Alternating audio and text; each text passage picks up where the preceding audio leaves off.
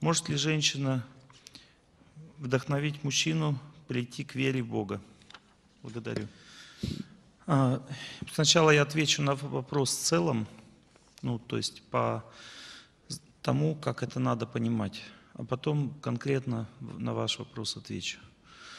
Значит, в целом надо знать, что женщина является сердцем мужа. То есть женщина, она имеет чистый разум по природе, и ее склонность к вере является, ну, как бы ее природой. То есть женщина, она верит, потому что ей верится. Ну, то есть это ее природа верить. И в кого еще не верить, как Бога? Ну, то есть Бога верить правильнее всего, и это понятнее всего, что верить не в Ленина, там, не в кого-то еще, а в Бога. Это понятно очень. Понимаете, поэтому сама природа женщины верить. И не надо сравнивать это с мужчиной, потому что природа мужчины – это двигаться к вере, понимаете? Это большая разница – верить и двигаться к чему-то. Мужчина имеет сильный разум, но он не чувствительный. То есть ему надо искать истину, ему надо попытаться это понять. И сама среда, в которой живут мужчины и все люди, в принципе, она не способствует вере. Понимаете, сейчас общество верит в деньги, а не в Бога. В целом, если взять общество, то верится только в деньги и в развитие в свое, особенно в Москве. Потому что люди верят в развитие и в то, что деньги им помогут в жизни и положение в обществе. А, и знания также. Знания, как вести дела там и так далее. То есть в это люди верят. И так как, понимаете, мужчина всегда занимает в обществе ту веру, которую занимает общество. Ну, то есть общество вот считает так в целом, и мужчина тоже живет так, потому что мужчина – это существо социальное. Женщина – это существо семейное, а мужчина – социальное. Природа у мужчины социальная, поэтому ему трудно верить в то, что, во что общество не верит, или, допустим, что не общепринято, понимаете? Для него это к этому надо еще прийти. Это не просто для него к этому прийти. Поэтому существует, в этом заключается равенство между мужчиной и женщиной. Женщина вдохновляющее начало, а мужчина двигающееся начало. То есть женщина, допустим, она верит, но ей трудно в вере развиваться. Она даже часто не понимает, что значит развиваться в вере. Она думает, что она развивается, на самом деле стоит на месте. Часто так бывает. Вот. Но она может верить. Развиваться ей тяжело, верить ей легко. Мужчине легко развиваться, тяжело верить. Понимаете? В этом заключается разница. Поэтому Бог создал так, что женщина вдохновляет мужчину верить. Как она вдохновляет его? Если у нее есть вера настоящая в Бога, не понятие духовное, а вера. Понимаете, чем отличается понятие от веры? Вера, она соткана из любви, потому что Бог сам соткан из любви. Если женщина хочет мужчину сделать верующим, это уже не любовь. Это желание использовать кого-то для своего счастья. Вот почему, разберитесь сначала, для чего вы хотите его сделать верующим. В чем причина? В том, что вам легче будет и счастливее с ним тогда жить. Но это и означает эгоизм. Причем тут вера? Это эгоизм чистейшей воды, просто он как бы под верой скрыт. И в этом случае человек не будет на это покупаться, поддаваться, потому что чистота рождает чистоту, а эгоизм рождает эгоизм. Часто бывает так, что родители хотят сделать детей вот такими, не потому, что они хотят им лучше, как им кажется, потому что они хотят наслаждаться тем, что они будут хорошими – вот в этом заключается тайная проблема, которая и не дает возможность детям меняться или мужу. Поэтому, если вы спросили меня, можно ли мужа привести к вере? Нет, нельзя. С другой стороны, можно ли так жить, чтобы муж стал верующим? Нужно так жить. Но это не означает привести мужа к вере. Это означает жить так, чтобы он увидел в этом смысл. Но если вы будете его вести к вере, или близкого человека вести к вере, тогда в этом случае что произойдет? Он почувствует давление А в этих вопросах не может быть давления. Вот, допустим, вас кто-то ведет, ведет к тому, чтобы выйти за кого-то замуж. Вы испугаетесь, нет? Вот вас ведут замуж к одному человеку. Страшно, так? А вера – это еще более интимная вещь, чем замужество, понимаете? Потому что вера, она глубоко-глубоко в сердце человека живет, а замужество чуть повыше. Повыше, понимаете? Не так глубоко, как вера. Поэтому вера так как интимнее, поэтому к ней вообще нельзя никого вести. Если человек сам захочет веру пойти в какую-то, он пойдет. Но вопрос заключается, почему человек хочет этого. Вот в чем вопрос. Потому что он видит там любовь. Любовь является основополагающим принципом развития человека. То есть человек движется всегда в сторону любви.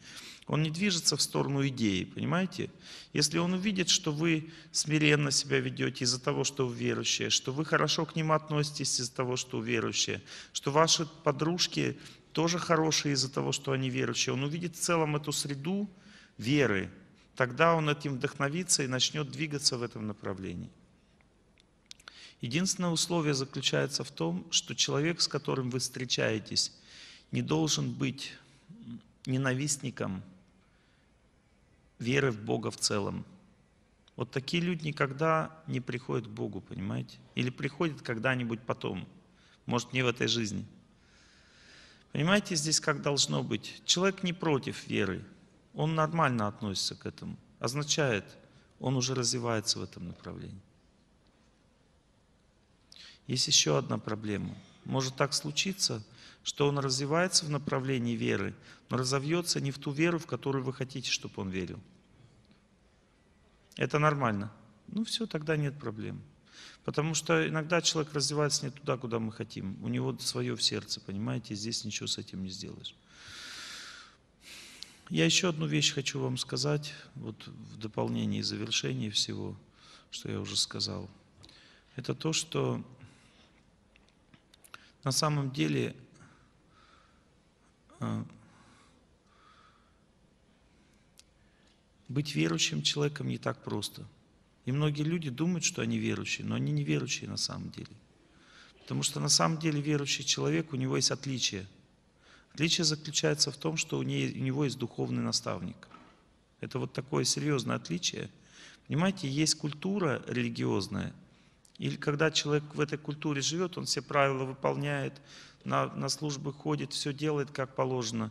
Но у него при этом просто это в рамках культуры его внутренней эстетического чувства происходит, понимаете? Но вера в Бога это выше этого процесса, потому что вера означает, что человек выполняет наставление. Он не просто ходит и делает то, что он считает нужным, он выполняет наставление. Вот когда человек выполняет наставление, тогда вера начинает менять его судьбу. Потому что сам человек из своей скорлупы не вылезет. То есть он просто ходит, просто делает что-то, и это хорошо. Но если у человека нет наставника духовного в его традиции духовной, в данном случае в вашей в православии, то есть у вас должен быть православный наставник – и это означает, что он должен обладать очень возвышенными качествами для того, чтобы вы ему верили. И это означает также ваше развитие. То есть в этом случае вы выше судьбы будете. То есть судьба уже не может в полной степени на вас влиять.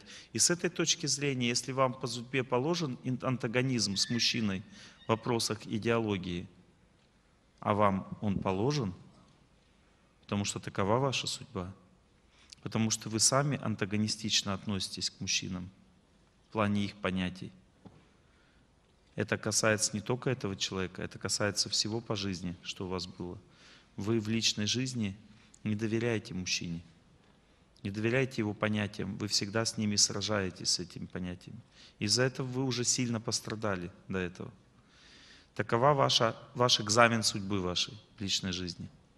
И здесь может быть то же самое. Нельзя сказать, что этот человек уже настроен против вас. Нет, но вы можете это сделать. Благодаря давлению своему, понимаете, давлению.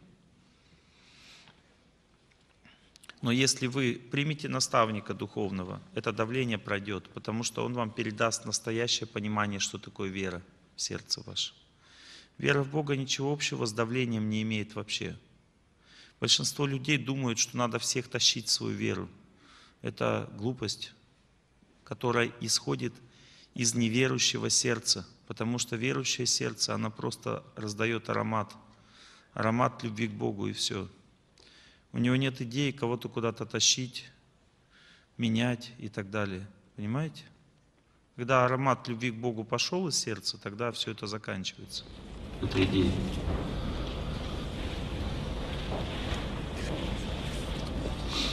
Олег Геннадьевич, а можно вопрос? Вот сейчас у меня есть вопросы. Именно по вашему ответу. Я хотела узнать психологический механизм, с чем связана вера женщины и неверие мужчины. А у мужчин нет неверия, у него другая природа. Он склонен искать, а женщина склон, склонна принимать. Они по-другому функционируют, разум просто. Женщина принимает, она чувствует, принимает, а мужчина ищет. Да, конечно. Это хорошо. Допустим, у меня к вам вопрос ответный. А хотите ли вы себе мужа такого, чтобы он не искал, не добивался, а просто принимал?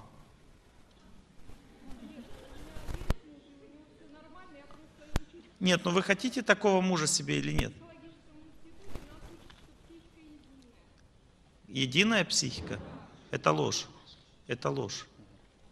Вот вас учат лжи в вашем институте. Вас учат лжи в вашем институте, потому что психика женщины отличается от психики мужчины. А вот эта ложь приводит к тому, что женщины становятся такими же, как мужчины. И это большая проблема. Это рушит жизнь. Если психика единая, пускай мужики рожают тоже, нет проблем. Если все едино, пускай рожают. Они не могут рожать. Значит, не едино получается. Что-то есть разное, так? Веда объясняет, что тонкое тело, психическое тело является основой для формирования грубого тела. И тонкое тело формирует уже женский организм, когда в нем заложен принцип другой, понимаете, принцип. И вы мне задайте вопрос в начале лекции об этом принципе, потому что важно его прочитать, и об нем поговорить перед началом этой лекции о создании семьи. И мы с вами разберем эту тему, в чем различия. Различия колоссальные, коренные. В принципе, устройство психики, они формируются на разных принципах изначально – Скажите, пожалуйста, чем вызван постоянный страх набрать все после, набрать вес после похудения? Молитва, служение, посещение храма помогает лишь на время. Ужасное чувство тревоги, почти постоянное. Нужны предварительные вопросы. Кто задал вопрос? Нужны, чтобы ответить на этот вопрос, нужны предварительные вопросы. Дополнительные, уточняющие. Человек стесняется. Хорошо. А где? Где? Здесь, да? Вопрос первый. Вы худели а, с помощью какого-то метода, то есть на средний полгода –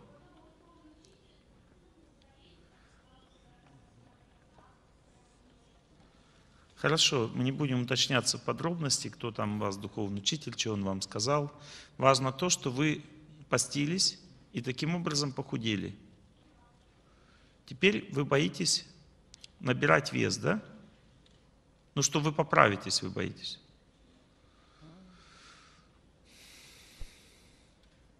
Чем вызван это страх? Привязанностью к телу. Вы воспринимаете себя как тело, поэтому боитесь.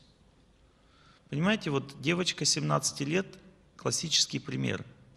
Она считает, что ее тело – это есть ее судьба, ее жизнь. Если тело имеет чуть-чуть не такую комплекцию, допустим, нос немножко не такой, как она хотела бы, или губы, значит, все, жизнь не удалась. Она воспринимает себя как тело, и поэтому думает, что вот все, вариантов жизни нет. У меня была такая ситуация в 15 лет, когда все выросли в школе. Я вырос раньше, в 14 лет уже вырос в свой рост, а все остальные начали расти позже. Я просто раньше созрел. И а, что произошло в результате? Я был в шоке. Я стоял почти первый в физкультуре, потом предпоследний стал стоять.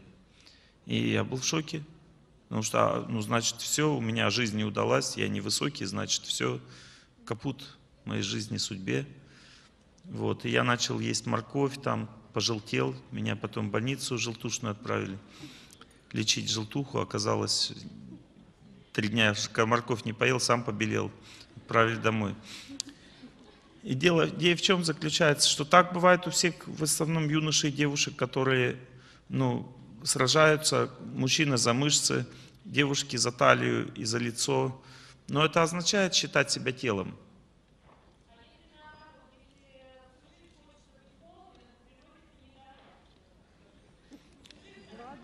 Моя хорошая, вы по природе душа, понимаете? Вот по вашей природе вы душа.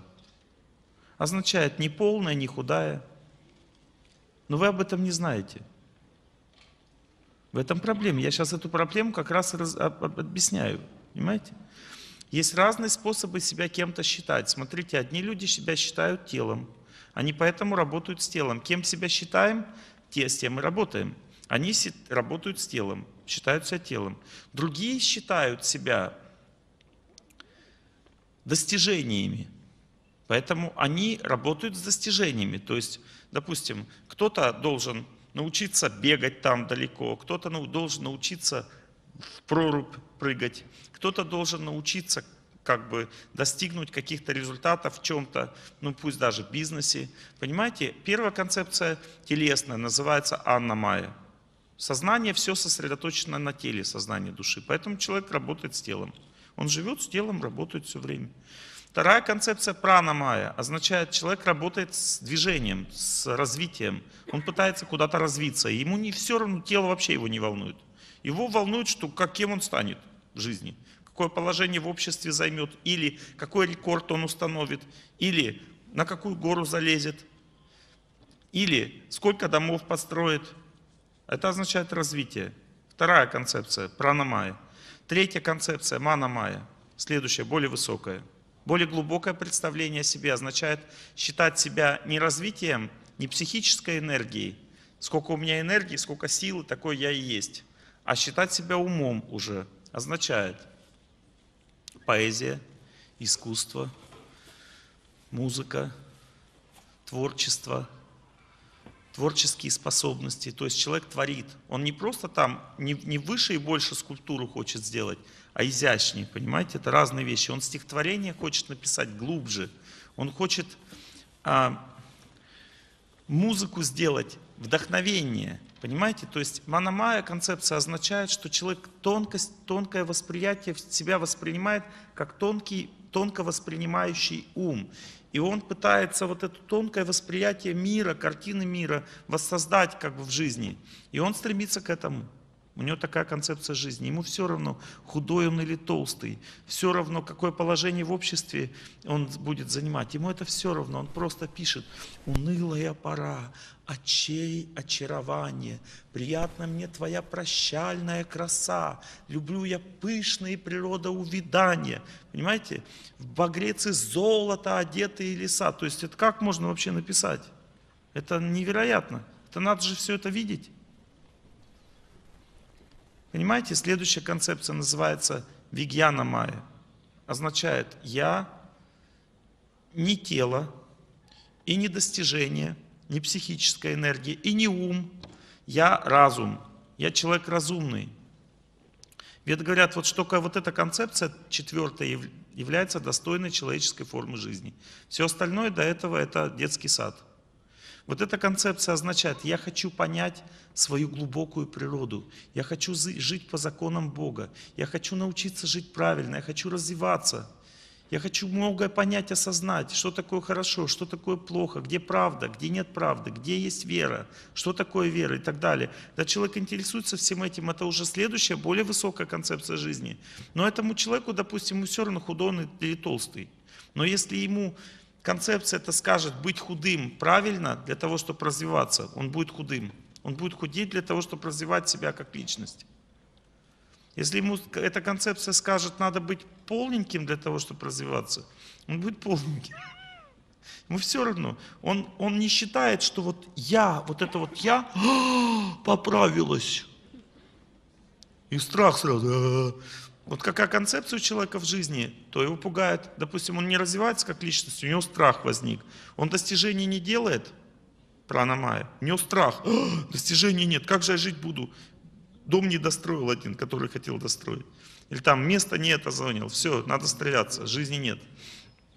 Стихотворение не могу написать, жизни нет, следующая концепция. А тут жизни нет, если ты не развиваешься как личность. Худой ты или толстый, такому человеку все равно. Мешает отсутствие здоровья для развития, буду здоровым, значит. Теперь следующая концепция, самая вас высокая. Ананда Майя означает «я душа». Это значит, если я душа, это значит, я должен учиться правильно любить. Я должен понять, кого любить больше всего. Я должен учиться быть чистым, честным, возвышенным, смиренным, добрым, решительным, целеустремленным и так далее. Это качество души я перечисляю вам. Это уже не качество ума или разума, это качество души. Это означает более высокий уровень жизни, вечный. То есть это вечная концепция человеческого существования. Поэтому все зависит от того, на кого работаем, понимаете? Если работаем на, теле, на тело, сознание все туда пошло. Человек боится за тело, он ходит все время за тело, трясется. Отсюда здоровый образ жизни означает заработать телом. Ну, допустим, вы видите, видите рекламу, у нас здоровый образ жизни. Означает, так тело делаем, и так тело делаем, и то с телом делаем. Другие говорят, у нас здоровый образ жизни. Уже означает, что мы там чего-то достигаем в жизни, стремимся к чему-то. Третьи говорят, у нас здоровый образ жизни, означает, мы изучаем эстетику, нравственность, поэзию там и так далее. Четвертые говорят, у нас здоровый образ жизни, означает, надо учиться верить в Бога. Иначе не будет здоровый образ жизни. Понимаете, одна и та же фраза может быть восприниматься по-разному в зависимости от того, куда идет сознание человека. Вот в этом заключается смысл. Я об этом вот девушке сказал. Сознание идет в тело, страх от тела возникает. Сознание идет в другое во что-то, страх от этого будет возникать. Поэтому ничего страшного, надо менять свою цель в жизни. Цели в жизни надо менять, менять сознание. Сыроедение это и есть концепция «я тело» как раз. Мы работаем с телом, едим сырое. И это наша вера. Они говорят, это наша вера, мы едим сырое. Это значит, что мы правильно живем. Все остальные едят не сырое, они неправильно живут.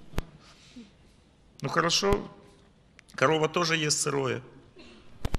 Это ее вера. Она вареное не ест. Что теперь, она правильная, все остальные неправильные, что ли? Антилопа гну постоянно бежит. Это ее вера. Но это животный уровень существования, понимаете? Животный уровень. Человек достоин выше, чего-то выше. Скажите, пожалуйста, где взять аудиозаписи молитвы святых людей? Хороший вопрос, мне понравился. Вот, допустим, если где взять голую попу, допустим. Мы лезем в интернет, голая попа сама вылазит, даже не надо искать.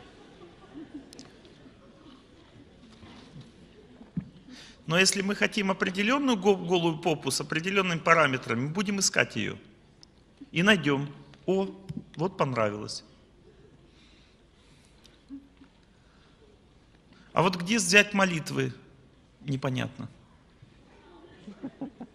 Ну поищи точно так же, если ты голую попу умеешь искать, поищи молитвы. Точно так же пойди в интернет, поищи в поисковиках, пообщайся с людьми и найдешь молитвы. Точно так же. Понимаете, для этого просто нужно желание их искать. Человек, а, молитва, где взять молитву-то?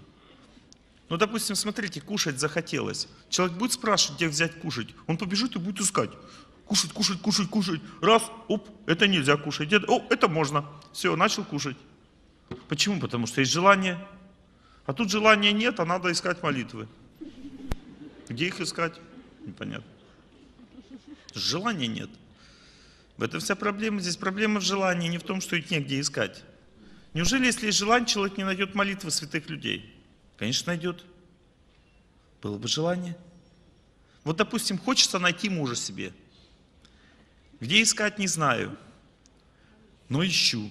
И постепенно появляется понимание, как искать, где искать. Все приходит со временем. А? Когда?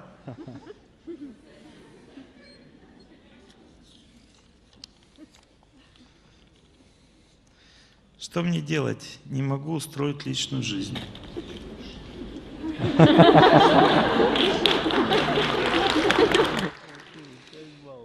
Знаете, что делать? Надо понять одну простую вещь. Если ты не можешь устроить личную жизнь, вот бегаешь, бегаешь, ищешь и не можешь устроить, значит кто-то мешает устроить личную жизнь. Ведь не бывает так, чтобы нигде не было моего близкого человека. Такого же не может быть. Есть, значит, какая-то причина. Кто-то мешает. Надо разобраться, кто мешает. Кто мешает мне устроить мою личную жизнь? Кто ответит на этот вопрос? Сам.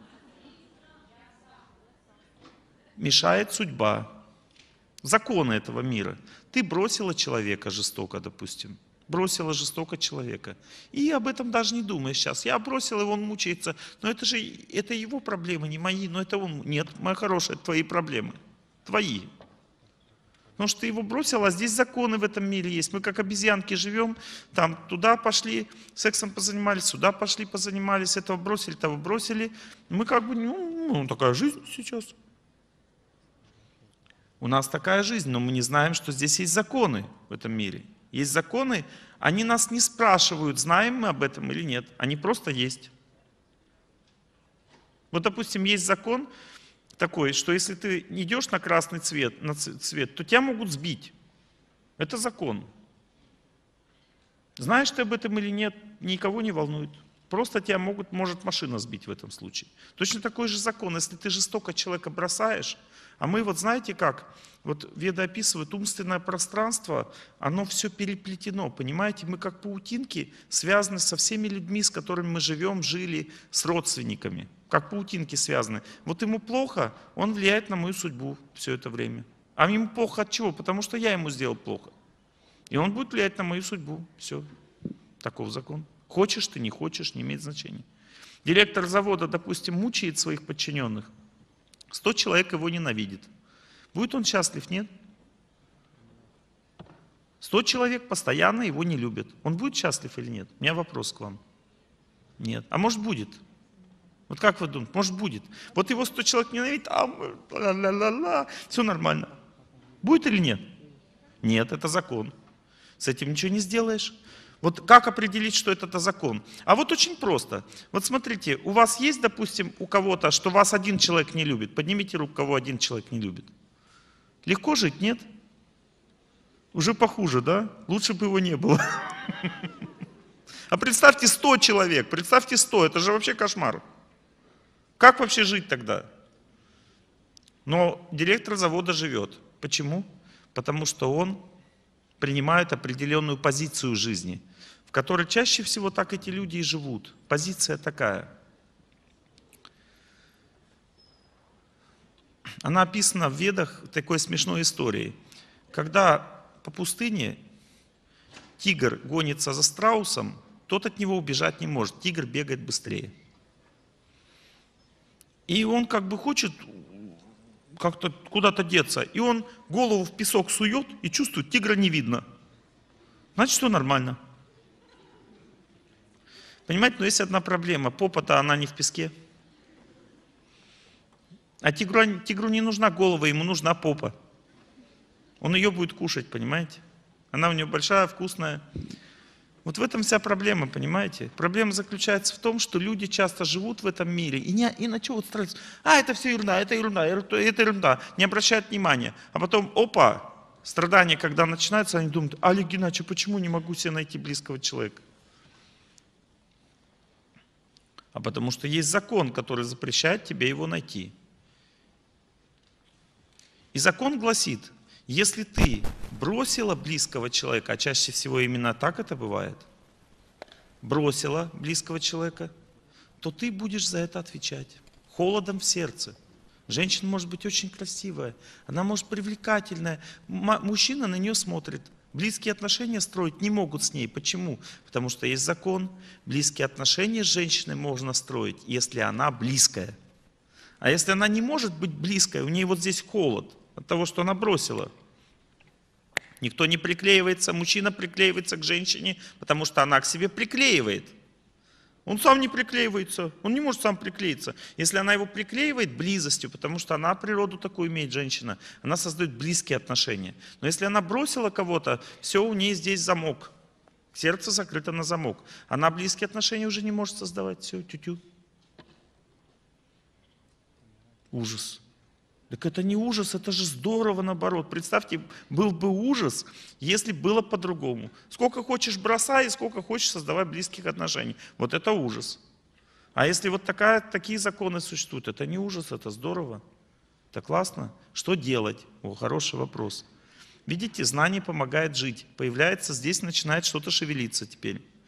Смотрите, первое, что надо делать. Всегда в своей жизни надо изучать, как правильно жить. Вот мы к чему сейчас пришли? Мы раз ко- копнули тему чуть-чуть и так, «А, Олег Геннадьевич, а что теперь делать? Вот это дальше делать всю жизнь. И дальше изучать, как правильно жить. И дальше это делать, потому что, понимаете, от этого все проблемы. У нас ведь все проблемы от незнания. Допустим, вот и у меня есть этот холод в сердце, я теперь поняла об этом. Олег Геннадьевич, что делать? А, а- а здесь уже вот это вот все внешнее уже не, не имеет значения, понимаете? Потому что ты уже вот там ничего не сделаешь. Делать-то надо здесь, в этом случае, с сердцем что-то. А мы не умеем. Мы умеем телевизор смотреть, на работу ходить. Мы умеем э, по телефону разговаривать, в интернет, в интер- компьютерные игры играть умеем, а здесь делать не умеем. Кушать можем, спать можем, вот, а здесь не умеем делать ничего, не знаем, как с этим. Вот оно холодное, что с ним делать? Это называется внутренняя жизнь. И вся, все общество, которое вот сейчас живет, оно не направлено на внутреннюю жизнь. В этом проблема. Общество все, в котором мы живем, направлено на внешнюю жизнь. Все фильмы, которые мы смотрим, все передачи, все, все реклама, все говорит, вот, вот это вот в Мозамбике там украли то-то, там это то, все, вот внешнюю жизнь нам показывают. А здесь вот то, что холодно, никто не показывает. Никто не говорит по передаче, ты бросила мужа, пожалуйста, раскайся в этом. А, Раскайся. А что такое раскайся? Сказать, простите, я больше не буду? Нет. А что это такое? А вот оказывается, видите, раскаяние это процесс, который мы не знаем даже, мы не знаем, как это работает вообще, чем его едят. Оказывается, для того, чтобы раскаиваться, надо перед кем-то раскаяться. Пустоту не раскаешься. Поэтому первое, что человек должен иметь, он должен иметь отношение с каким-то святым человеком, пускай даже на иконе. На иконе, потому что связь установится все равно. И он кланяется ему и говорит, пожалуйста, научи мне жить, я глупый человек. Я не соображаю, вот что там делать с этим совсем. Пожалуйста, дай мне силы, дай мне знания. Ты чистый, ты связан с Богом, я не связан. Ты чистый, я грязный. Ты великий, я слабый и немощный. Пожалуйста, помоги мне, помоги мне разобраться с собой. Сразу многие из вас сейчас сидят на лекции думают, опа, почему я немощный? Хм, Олег Геннадьевич, к чему вы призываете? Ну, Что-то не то, что-то не то. И это что-то не то говорит что? Штучка, вот здесь вот, которая всегда нам это говорит. Есть такой анекдот. Человек с девятого этажа падает. И он, Господи, помоги мне, помоги, я так тебе всю жизнь буду благодарен. Вообще, я вот для тебя вот это вот сделаю, вот это вот сделаю, вот это вот сделаю, все. Пожалуйста, помоги. Раз зацепился на первом этаже за сук, не упал, не разбился. Такой отряхивается, думает, какие только мысли не приходят в голову, когда с девятого этажа падаешь. До с девятого этажа падал, он пришел в нормальное сознание. Нормальное сознание человека какое? Я беспомощный в этом мире. Беспомощный. Это нормальное сознание. Означает, что нужно прибежище, высшее прибежище какое-то. Но мы считаем себя здесь крутыми. Какие мы беспомощные? Какие? Я, меня, Олег Геннадьевич, у меня тут, тут- Это вы беспомощные, а у меня целый завод. Ну хорошо, этот завод тебя спасет от того, чтобы тело оставлять, помирать. Он тебе даст бессмертие? Нет. Если тебе кислород перекроют 4 минуты, и завод не спасет, тебе придется помирать. И так далее. Смотрите, мы зависим от всего, зависим от пищи, зависим от воздуха, зависим от того, что мы стареем просто, зависим от здоровья. Мы зависим от многих вещей. Будет война или не будет, мы от этого зависим. Если будет война, хоть у тебя пять заводов, все равно ты будешь такой же несчастный, как все остальные. Ну, как бы скажут, нет, нет, Олег Геннадьевич, я не такой же буду несчастный. Я сяду на свой самолетик и полечу э, там куда-нибудь на острова, и там просижу. Может быть, это и так. Но если у тебя будет геморрой, хоть на островах, хоть здесь, ты на самолетике от него не улетишь.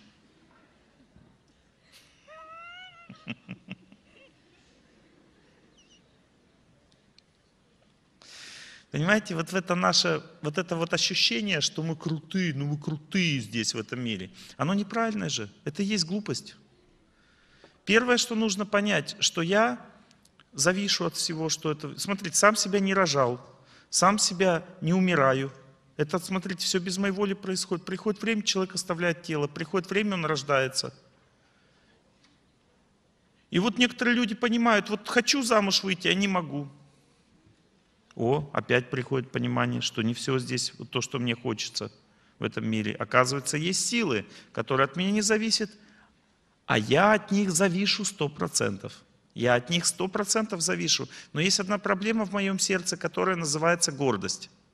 Я не хочу вот из-за этой гордость, это первое, понимаете, веды говорят, гордость – это и есть неведение.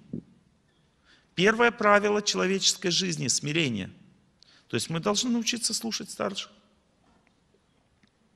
Вот до этой лекции ко мне пришел старший, и мы не по, эту, не по поводу этой лекции говорили, но он мне давал наставление.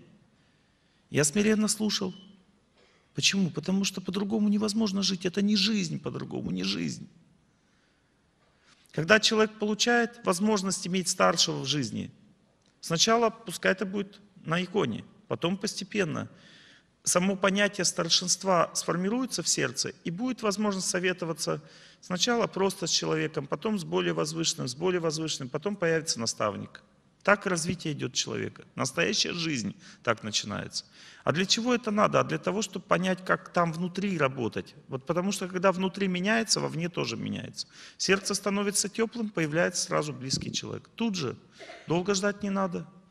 Любому мужчине нужна женщина с теплым сердцем на всю жизнь. На всю... Это великое достояние, великое достояние. Но женщин с теплым сердцем мало, потому что большинство из женщин одинокие от того, что они разрушили свою семью. Поэтому раскаяние это что такое? Это отношение со святым человеком. Это означает попробовать еще раз. Понимаете, семью создает Бог. Вот это мы уже приближаемся к нашей лекции. Да, сколько у нас времени-то? У нас уже время лекцию начать. Семь часов. А? Зеленый листочек, пожалуйста. Это вот обязательно, да? Я вас прошу сделать это очень. Спасибо.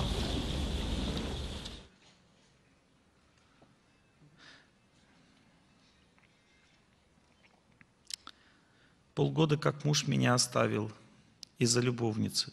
Уверены, что из-за любовницы? Сто процентов? Сейчас разберемся с этим. Но ушел уже не к ней.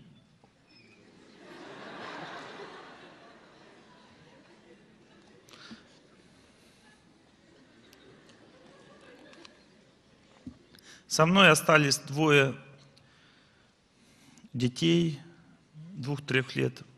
Возвращаться не хочет. Говорит, быть вместе не сможем – я испорчу тебе жизнь. Направить ли мне усилия на создание новых отношений с семьей или попытаться восстановить отношения с бывшим мужем? И то, и другое – это неправильный ход мышления. И то, и другое неправильно. Ни то, ни другое не поможет.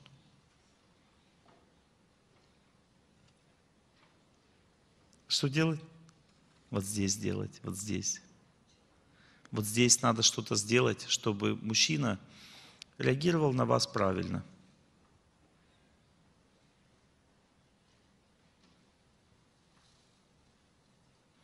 Много чего нужно сделать. Но, допустим, я скажу, все равно это не поможет. Надо само это понять. Первое, независимость.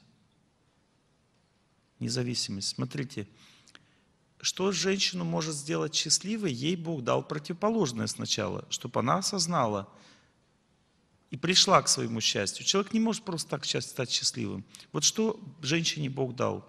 Смотрите, Он дал женщине возможность видеть все недостатки мужа в секунду.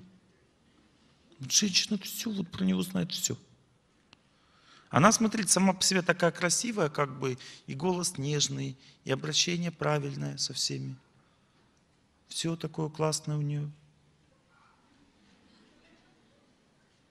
И она ду- думает, вот этого дурака, что ли, должна слушаться-то? Он даже не может правильно говорить, обращаться. Всему надо учить. Но женщина счастлива, когда она занимает смиренное положение. Вот это приносит счастье ей, потому что когда она занимает смиренное положение, именно это в женщине мужчина любит. Хотите, я вам докажу это? Когда вы только встречаться начинаете, как вы себя ведете?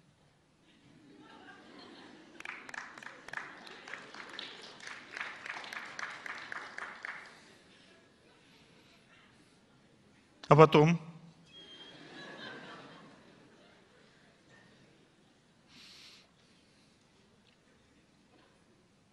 Это раз. Он вас боится просто. О, согласна. Боится вас. Он очень деликатный человек, понимаете? Хоть вы его писали здесь монстром, я вижу этого человека, он очень деликатный человек. И он обжегся об вас очень сильно, потому что вы прямо как баран. Ну вот, видите, есть, значит, причина. Я поэтому вас спросил с самого начала. Вы говорите, он меня бросил из-за любовницы. А я спросил, точно из-за этого? Он говорит, да, сто процентов. А я вот сто процентов знаю, что не точно из, не из-за этого. Это уже результат любовницы, понимаете? Поэтому он и не остался с ней. Потому что он устал от этого всего, он устал вот этой упрямости, жесткости в обращении, принципиальности, несмирении, непокладистости. Вот это все, долбит мужчину невозможно. Невозможно просто долбит. Ну, Говорите, искать другого или с этим, а какая разница, то же самое будет потом. А любой мужчина не может этого терпеть. Вот если бы вы со мной пожили вот таким образом, как вот вы живете, я бы вот так вот не сидел здесь румяненький, понимаете? Я бы пришел такой, законы счастливой жизни. Страшно бы было на меня посмотреть.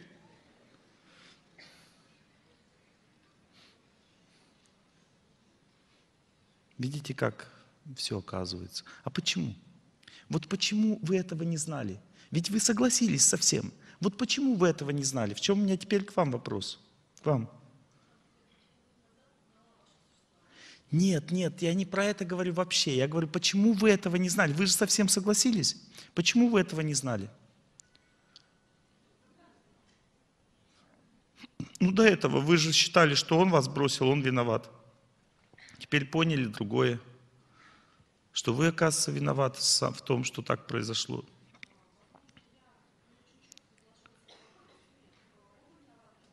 О, а нет, о- оба, оба виноваты. Оба. Моя хорошая, не оба виноваты, а вы виноваты. Олег Геннадьевич, ну это неправда. Вот смотрите, три вида правды. Первая правда. Все это правда. Он виноват. Эта правда погубит вашу семейную жизнь полностью. Три дороги всегда есть у человека. Первая дорога убивает его человека, вторая отнимает коня, третья делает счастливым.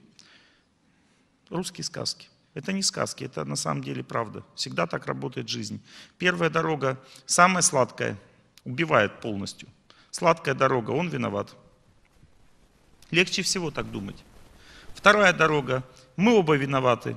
Отбирает коня, означает мужа. Ну, то есть замуж выйти невозможно. Ну, так можно как-то жить хотя бы.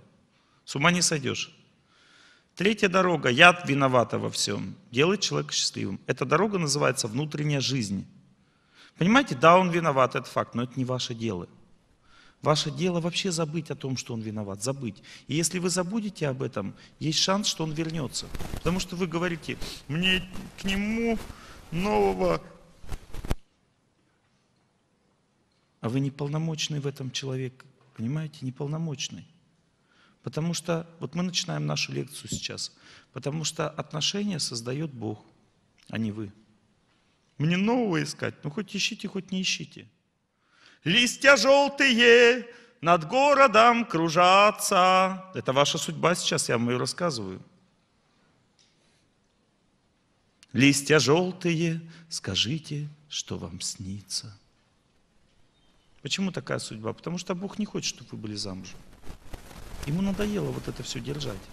Он держит семью, а вы рушите. Он держит, а вы рушите. Уже второй раз. Нет? Второй раз. Семью. Первый вы считаете? Не знаете? Но были же до этого отношения, которые вы разрушили. Я вижу по вашей судьбе, что два человека вам уже было дано. Первый умер. Не выдержал, да?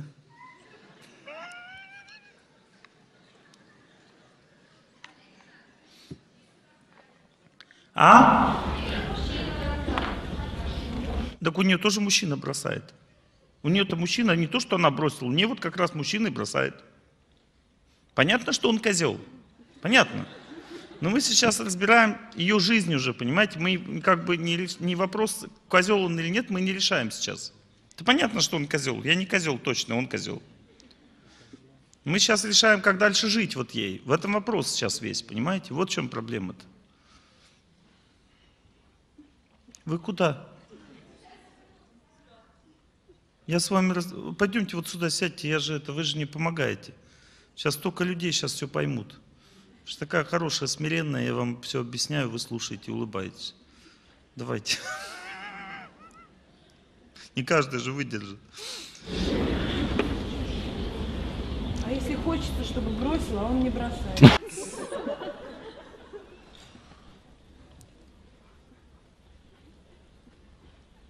Смотрите. Вот хочется, чтобы бросил, а он не бросает. Почему? Почему? Мы не можем бросить, бросить друг друга. В чем причина? Почему? Вот я хочу уйти, а не могу. Почему? Хочу прийти, а не могу. Хочу семью создать, а не могу. Хочу уйти из отношений, а не могу. В чем причина? Кто-то задумывался об этом? В чем причина? Отношения держит кто-то другой, не я. Он и не дает создавать, и он также не дает разрушать потом. Отношения держит кто-то другой. Вот это надо открытие для себя сделать однозначно. Если бы он не держал, то я бы ушел и все. Мы же хотим расстаться, а не можем. В чем причина? Почему мы вместе до сих пор, когда мы замучили уже друг друга? Есть причина какая-то, значит кто-то держит. Надо задуматься об этом. И именно тот, кто держит, он и не дает создавать потом, потому что он думает, а зачем? Опять будет то же самое. Зачем этому человеку семья? Чтобы кого-то замучить опять? Он думает, я этого человека ей больше не дам, такого вот хорошего. А плохого она сама не хочет. Поэтому все, получается, как бы никто не заинтересован в том, чтобы семья была. Теперь смотрите, проблема не в том, что вы плохая.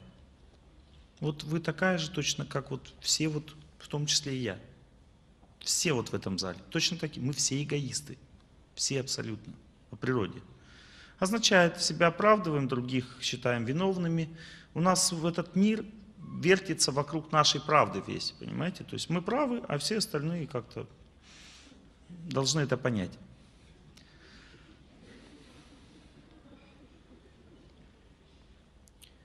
Так вот в этом заключается глупость человеческая. Потому что это и есть неправильная жизнь. Это называется внешне направленная жизнь. Жизнь, в которой истины нет. Истина заключается в смирении. Когда человек принимает на себя судьбу, он говорит, я во всем виноват. Господи, пожалуйста, объясни. Ищет наставника себе, чистую душу, пускай даже на иконе сначала, чтобы сердце хоть как-то связать с истиной. Это не как-то, это реальная будет связь.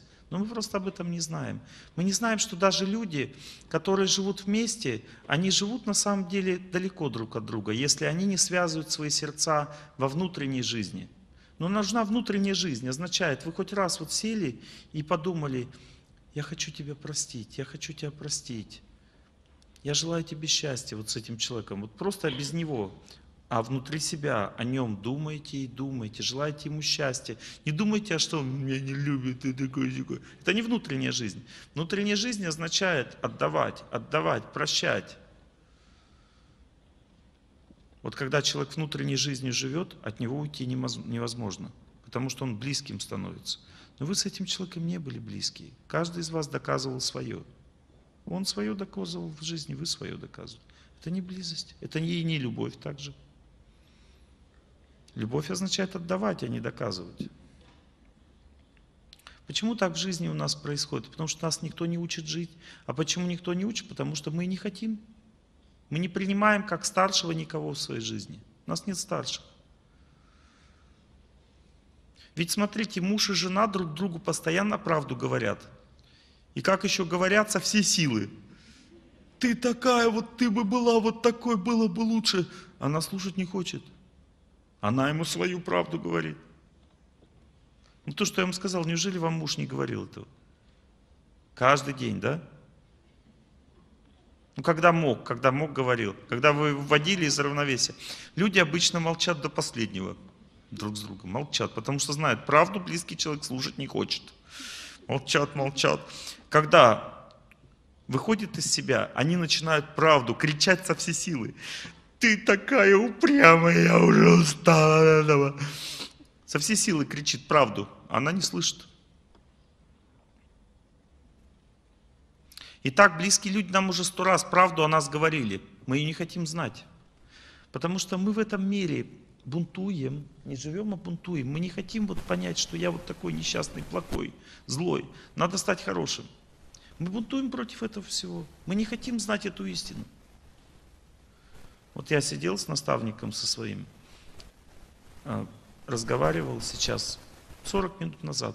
Он мне одну вещь сказал, а я такой... Только потом себя на этом поймал. Вот точно, вот лекции читаю каждый день, а сам точно такой же. Разницы нет. Он, я говорю, а он вот так вот. Он говорит, ну хорошо, он вот так, а речь-то сейчас о тебе. Я такой, «Ы». поймал. Видите, как мы устроены? Удивительным образом. Вся ложь, которая заставляет нас страдать в жизни, она сидит вот здесь на самом деле. И некому сказать просто. Почему? Потому что мы не хотим никого слушать. Вот в чем проблема. Мы все знаем. Вот это и есть самая первая ложь, которая в жизни человека существует. Я все знаю. Я и так все знаю. Не учите меня жить, Элочка-людоедка. Помните, 12 Классический вариант, который у нас здесь сидит у всех. Вот в этом проблема вся.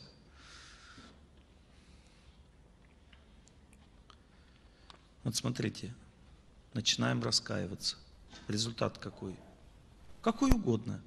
Это уже, результат уже нами не предсказывается. Но он всегда хороший. Вот в чем дело. Вы начинаете раскаиваться, я такая, я вот такая, я не хочу быть такой, пожалуйста. И святому человеку, то молитесь вот так, говорите, говорите, что происходит. Сердце очищается от той силы, которая разрушила отношения. Это же оттуда пришло-то, из сердца из вашего. И что происходит? Ваш муж, который от вас еще никуда не ушел на самом деле, никуда не ушел. Господь его держит рядом с вами. Просто ни вы об этом не знаете, ни он. И он не сможет сейчас зафиксироваться ни в каких отношениях до определенного времени, потому что вашему браку еще дано время. И вот в вашем сердце знание об этом тоже есть, так же, как в моем сейчас. Чувствуете, да, что есть тепло какое-то? Но вы не готовы. Вы не готовы сделать так, чтобы его потянуло назад. Вы не готовы к этому. Вот именно об этом и речь сейчас идет, а не о том, его искать или другого искать. Мы же не ищем. Господь сейчас эти отношения сохранил. Потом, когда это будет невозможно, Он вас будет наказывать какое-то время, в угол поставит на много лет. Один совсем один, понимаете? А потом другого даст человек. Опять же он будет держать эти новые отношения до последнего. И так постоянно у нас в жизни происходит. А сейчас пока эти отношения. Эти отношения остаются. И если вы будете вести себя правильно, он его потянет назад. Но правильно означает только на своем огороде стекла собираем. Вот что бы он ни сказал, что бы он ни сделал, как бы он себя не вел, это мое дело. Нет. Мое дело разобраться вот с этим, что у нас там внутри. Все. Все остальное не мое дело. Тогда его потянет назад. Он поймет, что воинственная группировка, которая вышибла из дома его, вышибла из дома, она уже больше не функционирует. А его вышибла из дома воинственная группировка, понимаете, которая сидела внутри вас, в вашем сердце. А сейчас она вдруг пошатнулась. И смотрите, как вы задали вопрос, смотрите, стиль. Олег Геннадьевич, на эту записку, на эту. Это есть воинственная группировка.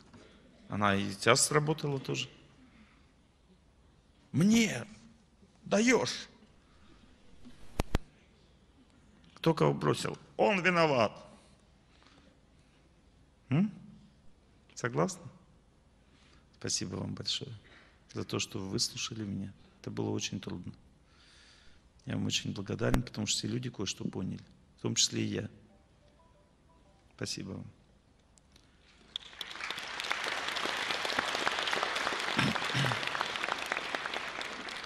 Так, тема нашей сегодняшней беседы – это создание семьи.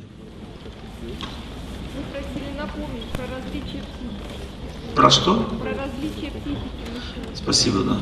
Различия психики. Итак, тема нашей сегодняшней беседы – это создание семьи. Но вы с лекции-то не уходите. Различия психики. У нас есть три аспекта. Душа имеет три аспекта, которые дают ей жизнь. Вернее, это три аспекта сознания души. Из этого наша жизнь соткана. Первый аспект называется вечность. Мы все стремимся к вечности одинаково. Все люди хотят жить, все люди хотят стабильности. Мужчины, женщины не имеет значения. Второй аспект – счастье, любовь, аспект любви.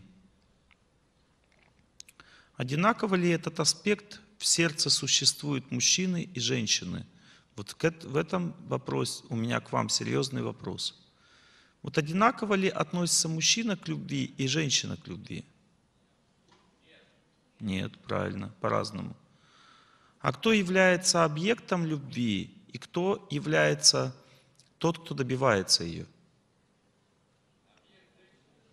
Правильно? Объект любви женщина. А почему? В чем причина?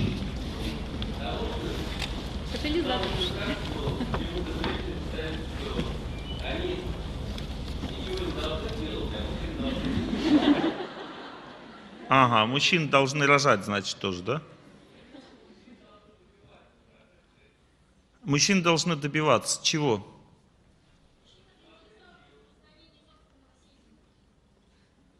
Мужчина распростран... заинтересован в распространении семени. То есть это обезьяна. Мужчина это обезьяна, которая цель жизни это распространить семя. То есть он, это обезьяна. То есть мы обезьяны все. И цель нашей жизни это распространить семя. Вот сейчас моя цель распространить на вас свое семя. У меня нет другой цели. Я тоже мужчина, я считаю.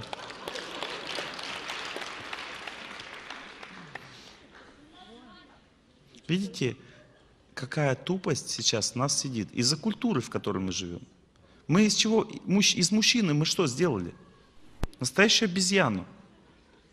Настоящую обезьяну. Вот да, это так. Вот смотрите, допустим, если сейчас в общество лозунг крикнуть, кто настоящий мужчина – настоящий мужчина. Сразу большинство людей подумают, ага, настоящий мужчина. Но я могу несколько раз подряд. Большинство людей так считают. Ты мужик или не мужик? Ну, означает вот это. Больше ничего. Но это не потому, что так всегда было, а потому что мы сейчас создали такую культуру. Мы в такой культуре живем, что мужчина считает, что вот это и есть самое главное, в чем заключается мужчина. Но интересно знать, что вот это вот самое главное, в чем заключается мужчина, он получает уже в 15 лет, когда вот это все самое главное уже выросло, а мозгов при этом нет. И интересно также знать, что именно в этом возрасте, в 15 лет, он семью создать не сможет. Почему? Не потому, что что-то не выросло, у него все классно работает, и он мужчина в этом плане самый крутой. Вот. Проблема есть другая. Он не сможет жить женщиной. Он не сможет терпеть ее эмоции, не может зарабатывать ей деньги, не сможет даже вот терпеть эту ситуацию, что она женщина, он мужчина, означает, что она его будет мучить. А он должен с этим смириться. Но даже не в этом проблема. Проблема заключается в том, что он берет одну замуж, одну жену всего. Она, оказывается, сильно любит свою маму и папу. Женщина очень к родственникам привязаны. И оказывается, приходится брать еще в отношении еще ее и родственников, которые как бы не планировал брать. Но даже это не самое главное. Самое главное заключается в том, что из нее разные люди вылазят, которые тоже семьей становятся, и непонятно, как себя ведут потом. И с ним тоже приходится отношения строить, и знаю как. И когда молодой парень 15 лет это все увидит, он подумает, о, не хочу, и убегает. А потом, когда он вдруг, если так получится в его жизни, что он станет все-таки мужчиной, не означает распространитель семени, не означает, а означает человеком серьезным, глубоким, ответственным, который старается о семени не думать вообще, а думать о жизни вообще, о жизни. Потому что что такое в моем понимании жизнь? А?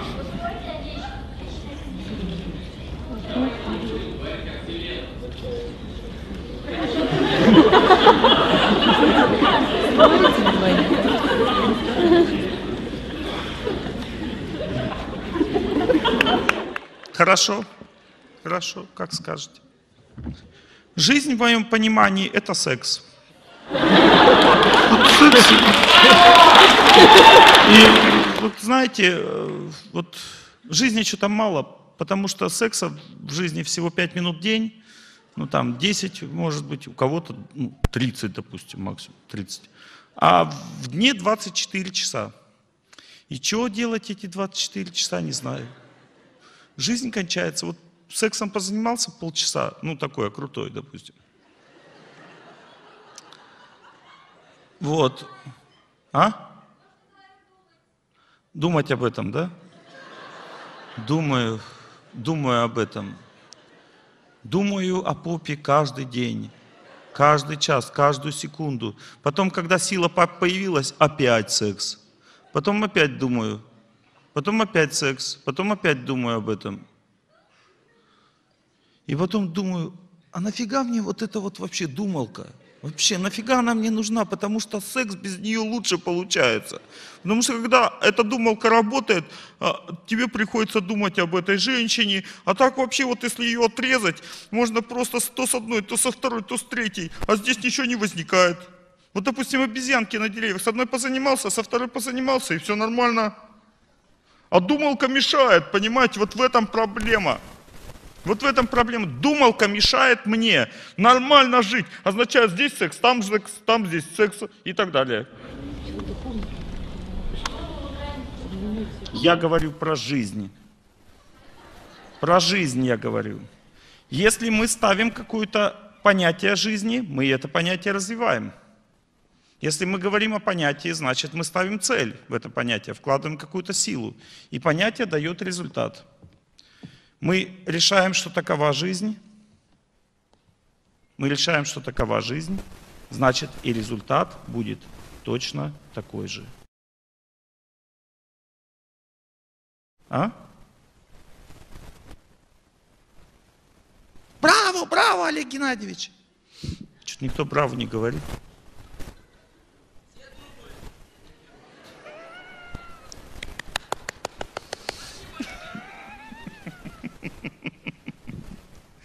Артисты, ну ладно, хорошо. Итак, мои хорошие, мы с вами запутались конкретно просто, конкретно. Вот то, что мы сейчас слышали, это ведь философия-то не на уровне э, бурлаков на Волге. Это философия на уровне психологов происходит. Мне ведь концепции-то психологические сейчас излагают, а не концепции людей, которые сидят и бухают. В этом заключается проблема тяжелейшая нашей судьбы. Вы понимаете, наше сознание сместилось отсюда вот сюда.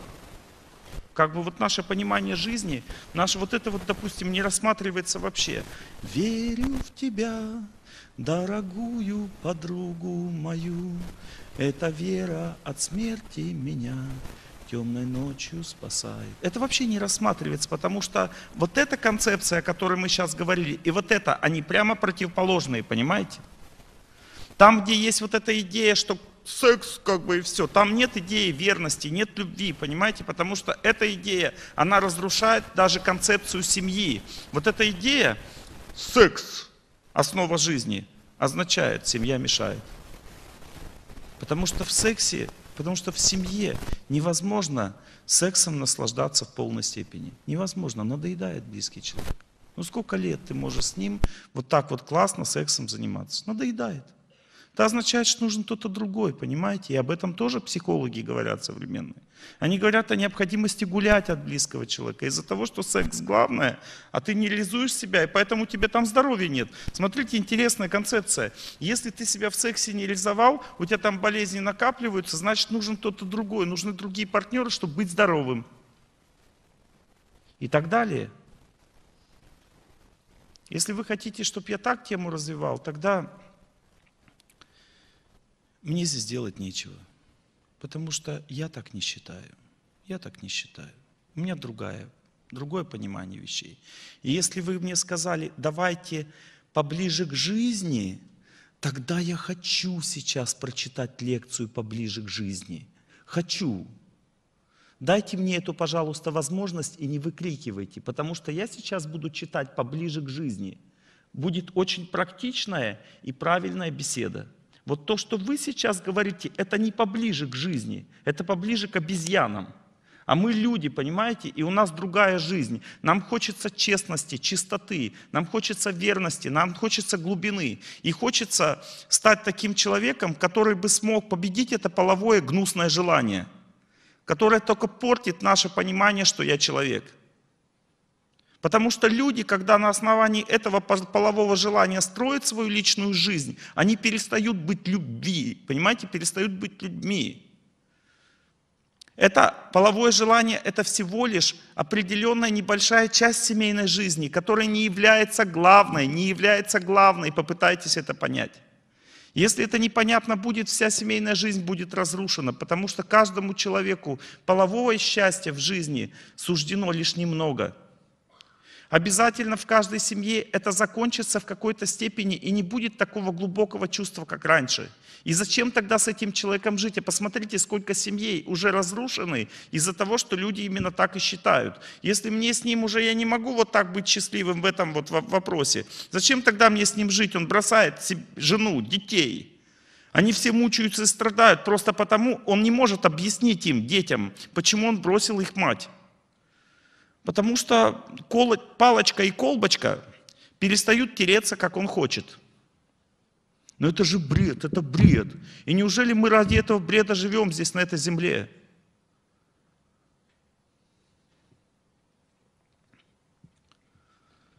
Итак, на ваш вопрос продолжаю ответ свой. Мужчина не просто так стремится к женщине. Есть причина – Причина заключается в том, что мужчина чувствует от нее любовь. Женщина, вот смотрите, как происходит с самого начала. Душа, находясь в тонком теле, а мы живем вечно, чтобы вы знали, и психика человека не умирает. В ведах она называется тонким, тонким телом, психическим телом. Душа, находясь в психическом теле, у нее есть выбор развиваться в сторону познания мира, что дает человеку счастье в конечном счете, или развиваться в сторону любви, что дает ему счастье. И душа выбирает, допустим, любовь. То есть аспект любви начинает взаимодействовать с ней в полной степени, и она рождается в женском теле в этом случае. Как она развивается? Смотрите, она развивается в результате душа в тонком теле. Развивается грубое тело, как развивается, под влиянием энергии любви.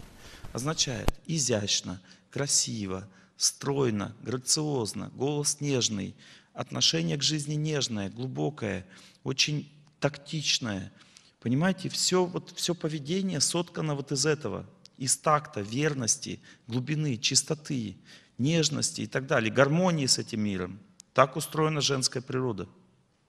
Или я не так говорю? Ну неужели мужчина точно так же устроен? Нет. Есть второй вариант, когда душа, вот психологи, кстати, это одно и то же. Мужчина, женщина, одно и то же. Я сейчас объясняю идею. Когда душа, находясь в тонком теле, хочет знания, потому что три аспекта есть, три аспекта души. Мы все стремимся к вечности, мы не хотим умирать. Мы все стремимся к счастью. И мы все хотим знать, как быть счастливыми. Никто не может не, не хотеть знать, никто не может не хотеть счастья, и никто не может не хотеть вечности. Никто, ни один человек. Это наша глубокая природа, в которой мы живем внутри себя. И вот мужчина, он стремится к знанию. Означает решимость в достижении знания, смелость, твердость, принципиальность, устойчивость в направлении, в котором ты идешь, нежелание сворачивать. Означает определенный тип психики, направленный на движение, способность двигаться, достигать цели поставленной. Психика очень крепкая, тело крепкое, твердое, устойчивое. Мужчине, допустим, нравится спать на жестком, ему это больше здоровья. Мужчина, закаливаясь, становится здоровее. Мужчина, когда голодает, крепче становится. Мужчина, когда испытывает трудности, крепче становится. Смотрите, у женщины все наоборот. Если она спит на жестком, она становится больной. Если она слишком холодной водой обливается, она становится больной. Если слишком много трудностей в жизни, это ее изматывает. Если надо куда-то двигаться слишком сильно вперед, ей от этого плохо становится, дурно жить. Она стремится к гармонии, она стремится к любви, она стремится к чистоте, к честности, к вере, верности, к семейным, близким отношениям, глубоким отношениям женщина стремится. Я сейчас что-то про секс сказал, нет?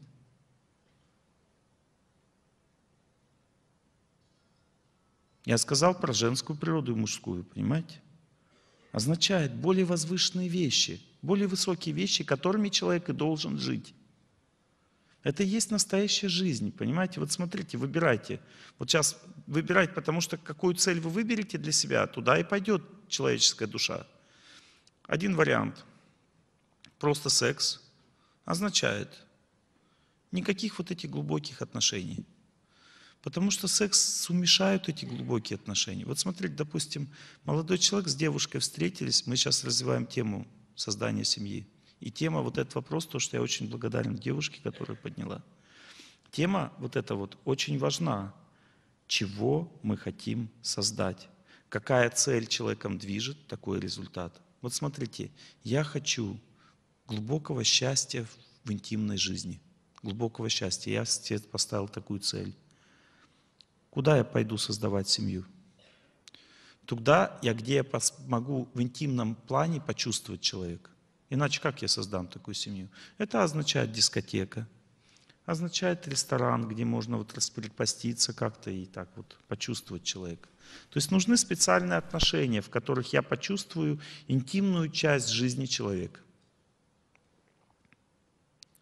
Второй вариант. Я хочу создать семью, в которой будет верность, чистота, красота, возвышенность, самопожертвование.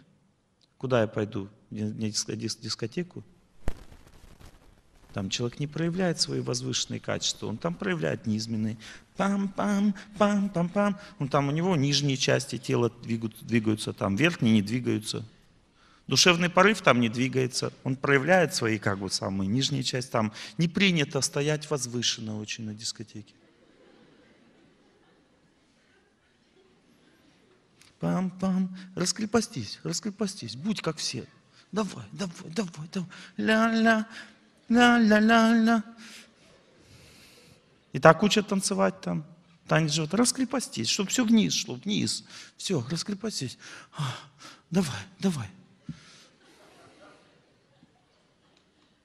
Но человек, который стремится к высокому, он не может перед всеми раскрепоститься. Он стесняется.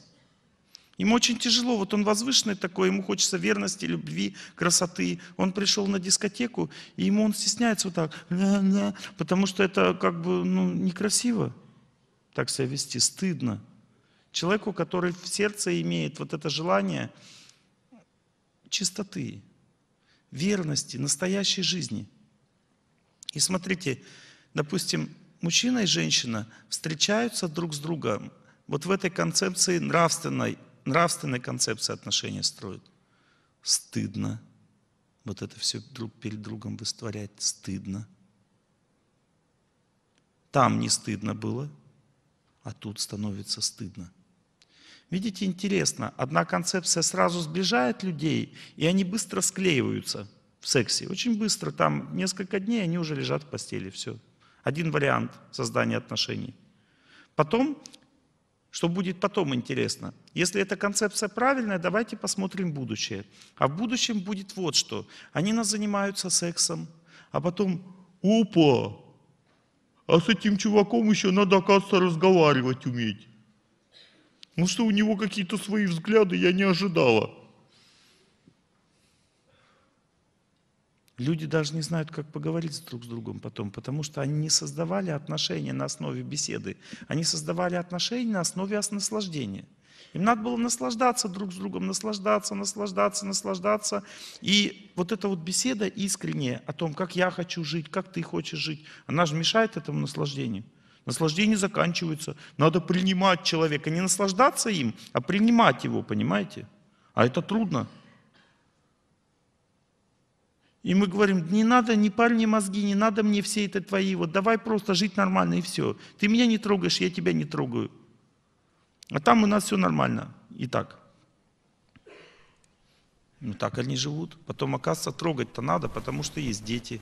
Их надо воспитывать. Есть какие-то моменты в жизни, которые надо решить. Например, а, ему захотелось другую женщину, а мы не обсуждали этот вопрос. Он говорит, а что, мы не говорили об этом никогда. Я и не знал, что тебе не нравится, что я с другой сплю. А она говорит, «А, а, и он говорит, там я так считаю, что ты так возмущаешься? А вот я считаю, что можно, мне нормально. И ты спи с другим тоже. Дома она думает, ну ладно, хорошо, пошла с другим спать. Приходит, а что-то он недовольный. И она ему говорит, тебе нравится, что я с другим сплю, мой хороший? Он говорит, нравится, нравится, пошла вон.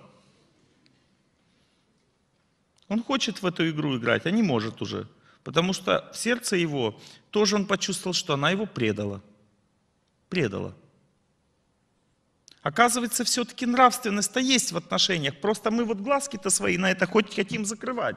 В этом проблема. И оказывается, высокие, глубокие отношения между мужчиной и женщиной тоже есть. Но нам вот проще так вот считать, что он стремится к продлению рода. Он стремится семя свое в женщину ввести.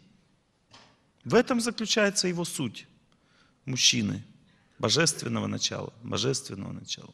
Мужское начало имеет божественную, не обезьянью природу. Не обезьянью, а божественную.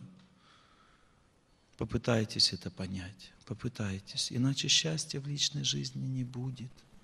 Ведь если мы не видим в мужчине божественного начала, мы к нему не будем относиться уважительно. Но что уважительного в том, что человек хочет свое семя куда-то впихнуть? Что в этом уважительного? Что в этом такого важного и главного вообще в жизни, чтобы я к этому человеку относилась вот с глубоким уважением и трепетом? Вот к этой картинке, что ли, которую он делает вот со мной по ночам, я должен, должна к этому относиться с трепетом и уважением. Да это противно на самом деле смотреть, если уж на то пошло. Нет здесь никакого возвышенного чувства от этого. Да, это возникает в нашей жизни, но зачем этому так много уделять своего сердечного внимания? Ведь мужчине есть в тысячу раз более важные вещи, которые надо в нем узнать. А если ты в нем этого не узнаешь, как ты сможешь его уважать? Как? Вот с чего надо начинать нашу лекцию, а не с того, чего вы, некоторые здесь сидящие хотели. Потому что от этого жизнь-то и рушится. Вот смотрите, есть несколько концепций создания семьи. К чему стремимся, то и получаем. Таков результат жизни. Первая концепция, самая примитивная.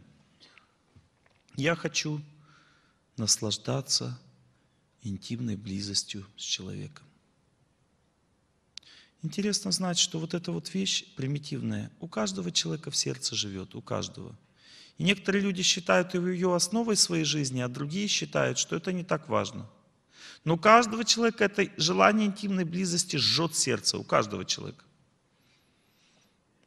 вот эти две прямо противоположные понятия жизни, это две философии разные, которые борются между собой. Сейчас на нашей земле победила вот эта философия, что вот эта вот интимная близость и есть самое лучшее в семейной жизни. Это и есть настоящее счастье. Это и есть ради чего мы живем. Люди даже не хотят думать о том, что есть что-то другое вообще. Потому что это труднодостижимые вещи. Вот это просто все а все остальное очень сложно. Вот смотрите, как работает система в этом случае. Я начинаю медитировать, то есть у меня всплывает образ определенный, как я создаю семью. То есть я создаю, вот, я ищу себе вот такую вот девушку, я думаю уже дальше не ее психике, а форме. Я смотрю на форму. Мне вот нравятся вот такие девушки, они у меня вызывают вот это чувство очень сильного жжения. Я чувствую счастье от этого всего очень сильно. Вот такие мне нравятся. Дальше что? Я ищу такую девушку. Симона, девушка моей мечты, королева красоты. Ну, то есть вот такая концепция. Ну и, соответственно, кого я найду? Симону девушку, которая имеет точно такую же концепцию, точно такую же, потому что невозможно, разные концепции не встречаются. Нет гармонии между ними, понимаете? Гармония всегда бывает на одних и тех же уровнях сознания. Вот если у тебя сознание такое, хочу наслаждаться женщиной, все, это и есть моя... Я готов семью создавать с ней, вот хочу вот это и все в жизни. Больше мне ничего не надо. И у нее тоже такая же концепция, хочу наслаждаться мужчиной. Все. Дальше что происходит? Надо искать где-то такую девушку. Я уже объяснил, где надо и где можно ее найти. Там, где эта энергия от человека начинает легко и доступно идти. Вот, допустим, в храме не найдешь такую девушку, потому что в храме все стоят, молятся. У них вот это все не раскрыто. И не поймешь, то ли у нее идет эта энергия, которой мне хочется, вот это вот счастье, то, что ли от нее идет, то ли не идет, не поймешь в храме. Потому что там возвышенная атмосфера, все стоят, молятся, все такие скованные, ничего у них не болтается внизу. Ничего не дергается, непонятно, как это работает.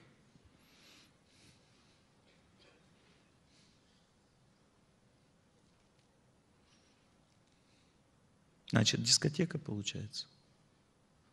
Дальше как события разворачиваются. Вдруг, как в сказке, скрипнула дверь. Все мне ясно стало теперь. Долго-долго спорил с судьбой ради этой встречи с тобой. Так? Правильно.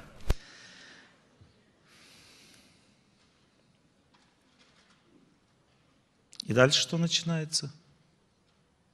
Медовый месяц. Ну, то есть очень много радости, счастья, потому что состыковка произошла, Союз Аполлон.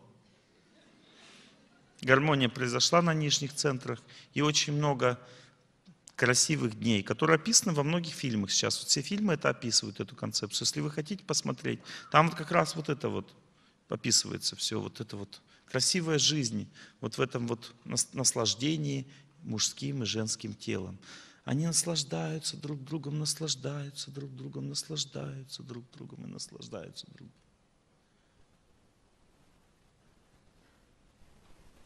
Теперь у меня к вам вопрос. Как вы думаете, а вот всю жизнь так возможно или нет?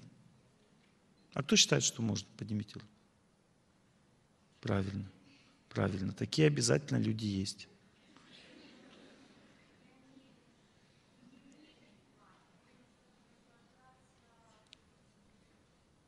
Присутствием любимого человека. Но это одно и то же.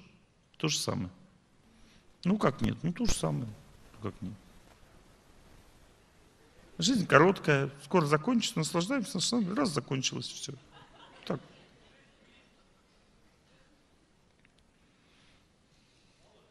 Блаженствуй на просторе, в укромном уголке, не думая о горе, с ковшом вина в руке.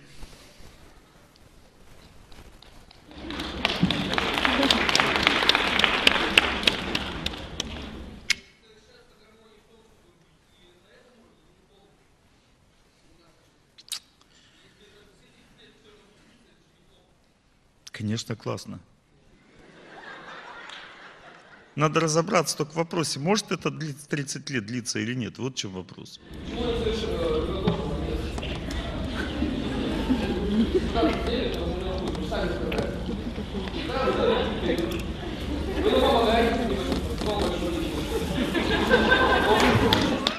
Сегодня классная лекция. Вот. Ну ладно, помогает конкретно мне читать. Спасибо вам тоже за то, что помогаете. Сейчас вам объясню, как веды объясняют, что происходит. Вы хотите знать, кстати, нет? Хотите? Вот смотрите, что происходит. У нас внутри есть такая зона, вот здесь сердце, которая, в которой находится хорошая карма и плохая. То есть там находится наше благочестие. Хорошая карма означает благочестие. Означает то, что возникло в результате моих хороших поступков прошлых. То есть я хорошие поступки накопил, и вот здесь у меня на- накопилась штучка, которая дает возможность мне счастливым быть в жизни. Теперь смотрите, интересно, как происходит, когда люди встречаются. Что такое влюбленность? Надо разобраться в этом вопросе. Смотрите, мужчина и женщина. На сердце возникла гармония. Гармония нижних центров на сердце. Любовь в сердце возникает. Но гармония может быть на нижних центрах. Вот так идти, вот так. Или вот так. Ну, по-всякому. Она может возникнуть. Гармония. Означает влюбленность. Вот смотрите, мужчина смотрит на девушку, и у нее, вот здесь вот, там, где карма находится, там есть узелки кармы, карма васаны. Одни узелки состоят из хорошей кармы, другие из плохой.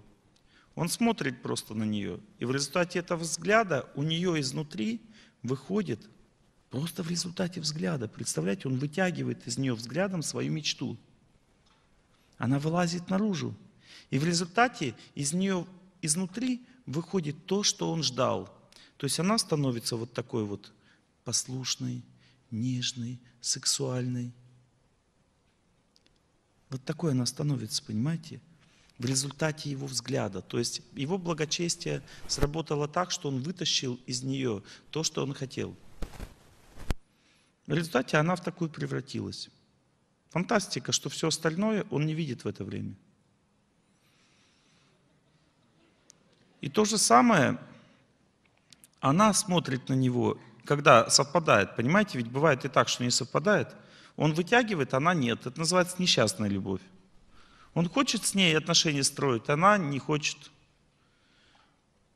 Так что бывай, бэби, так что бывай, не приставай, не приставай.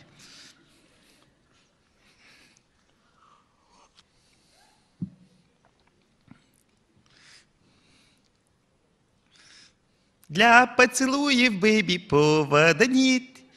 Нас потревожил, бэби, солнечный свет. Такая система.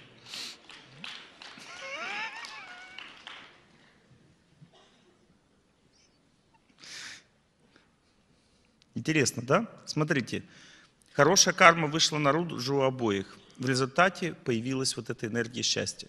Мы в это время заслужили ее или нет? Мы что-то делали для этой энергии, чтобы она... Вот, вот понимаете, в мире как? Ты что-то сделал, получил счастье. Здесь ты что-то делаешь, нет? Ничего не делаешь. Просто счастье выходит изнутри и все. И люди верят, что они имеют право так жить всю жизнь. Ну вот где они такое в жизни видели, чтобы счастье само выходило, ты ничего не делаешь, просто сидишь, ища. Только лишь в фильме э, «Вечера на хуторе» близ Диканьки. Так.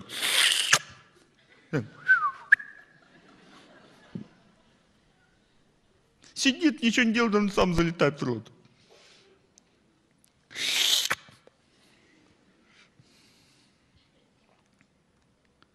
Ну, Накопил, накопил, конечно, накопил. Никто не против этого. Я сейчас говорю, что накопил как раз.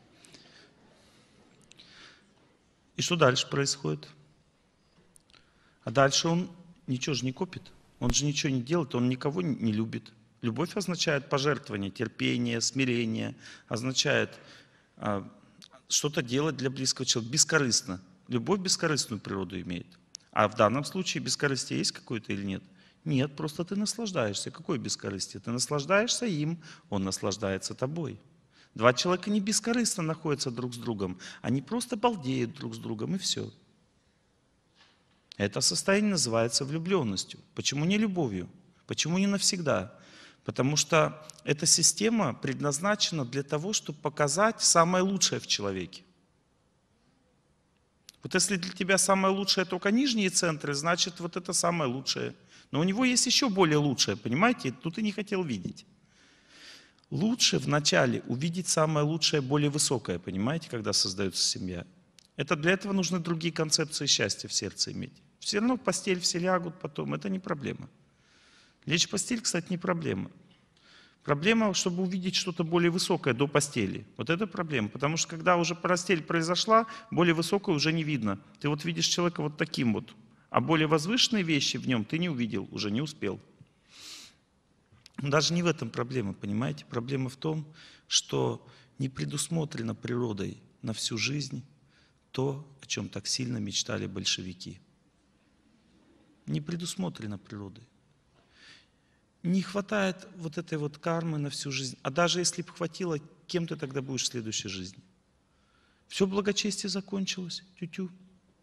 Ведь мы расходуем вот это вот состояние, в которое человек такой стремится, он это состояние означает расходовать, а ничего не делать. Понимаете, люди балдеют просто рядом с друг другом, и все. И они считают, это и есть то, что я хотел всю жизнь иметь. Потом что происходит? Хорошая заканчивается. Мой опыт показывает. Вот давайте сейчас статистику проведем с вами, если вы не верите мне. Вот мой опыт показывает. Три года вот такого балдежа друг другом – это самый большой максимум. У кого больше двух лет длилось, поднимите руку. Ой, крутизна, крутизна. 14 лет. Одна всего подняла. Смотрите, нас сидит здесь 800 человек. Одна всего подняла. Вот я поэтому говорю, что крутизна. Вот. У кого три года? Поднимите руку. Вот такое вот состояние балдеж, и ничего не надо. Видите, не так много, но есть. А у кого через год все закончилось? Поднимите руку. А у кого через полгода?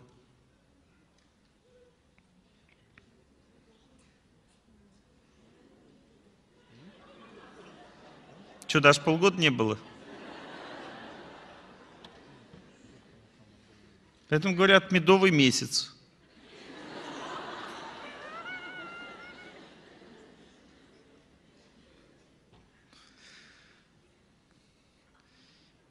Вот в этом заключается глупость человеческая, понимаете? Смотрите, сколько книг написано. О чем? О влюбленности. Ведь это же не любовь. Это просто желание балдеть другим человеком. Причем желание очень не бескорыстное, очень не бескорыстное. Помните, как Дездемону грохнули?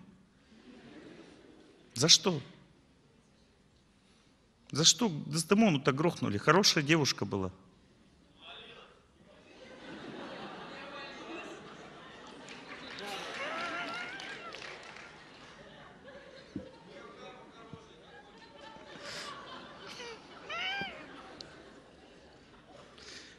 А грохнули ее, потому что любовь, она не совсем безобидная, понимаете? Ее грохнули, потому что жестокая эта штука на самом деле, влюбленность. Жестокая, очень злая штука. Сколько людей покалечила конкретно. Ведь когда мы влюбляемся сами, мы этого не понимаем, что она жестокая эта штука. А вот когда влюбляются в нашего мужа, тогда мы это очень хорошо начинаем понимать. И когда муж уходит из дома с счастливым лицом и говорит, я нашел свое в жизни. Оказывается, все, что до этого было, вот его дети, жена, это было не то. А вот эта влюбленность, она ведь мозги-то срывает конкретно людям. Он ничего не соображает в это время человек. Он думает, что вот это есть, вот это настоящая жизнь. И так как мне хорошо, вам тоже всем будет хорошо. Поэтому я и ухожу, чтобы все были счастливы. Ты найдешь своего, а я нашел свою. А она с детьми, со своими родными, которые больше другого отца родного уже в жизни не найдут. Останется, остается одна. И думает, а как, как, как, с какой злобой устроен этот мир? Почему так, что у нас была семья, ее так жестоко разрушили с улыбкой на лице и с ощущением любви в сердце? Так, мои хорошие, это же не любовь. Как вы не понимаете, что то, ради чего вы посвящаете свою жизнь, это не любовь, это страшная штука, которая основана только лишь на вожделении. Вожделение, веды говорят, самый страшный и смертельный враг человека. И на самом деле влюбленность это хорошо, если ей правильно пользоваться – и сейчас я вам буду объяснять, как правильно пользоваться. Раз вы уже поняли, что вот эта мечта, что я буду балдеть рядом с человеком, с близким, это просто иллюзия, в которую люди попадают как капкан, и поэтому и потом страдают в своей жизни. Если вы хотите настоящей жизни счастливой, давайте от этого капкана теперь отойдем и будем двигаться дальше. Во-первых, разберем вопрос один важный. Что становится с теми семьями, которые созданы вот таким образом. Вот смотрите, очень интересная закономерность. Если бы гармония могла возникнуть на высших центрах сразу, то вот этого бы, вот это бы вы не, не было. Почему? Потому что, смотрите, два человека сгармонизировали на высших центрах. Это значит, что они возвышенное друг в друге видят. Вот когда ты видишь в девушке возвышенное, ты ее в постель будешь тащить или нет? Вопрос к залу. Нет. Сейчас объясню почему. Потому что неудобно возвышенную женщину тащить в постель. Неудобно, стыдно, понимаете? Она чистая, возвышенная, светлая вся, а ты ее в постель. Неудобно. Некрасиво, понимаете? Вот почему. С ней хочется вот о чем-то светлом поговорить. О том, вот как мы будем верность соблюдать в личной жизни, в отношениях. Что такое верность? Что такое чистота?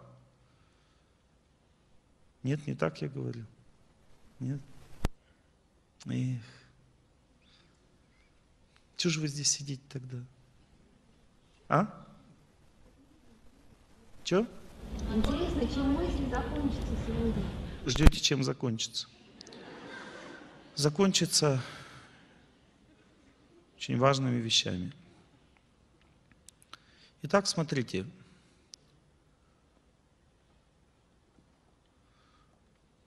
Вот создали мы такую семью на нижних центрах. Верхние, значит, не работают.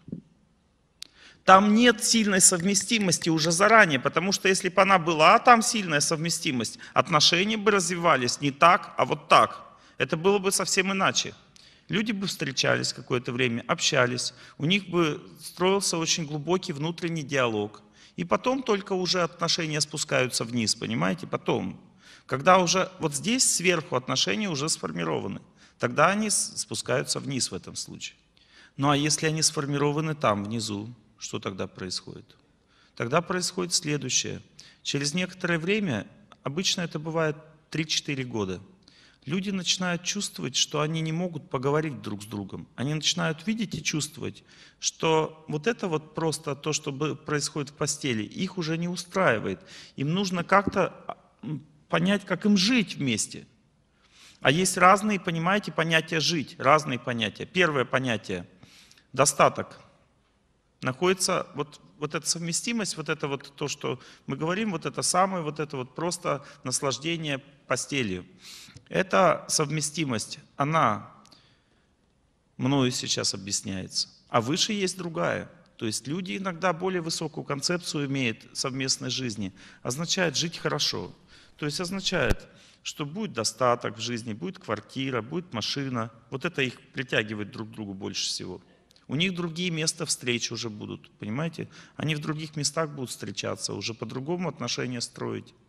Есть еще более высокая концепция, когда люди ищут себе человека, который бы ну, как бы отношение чести имел.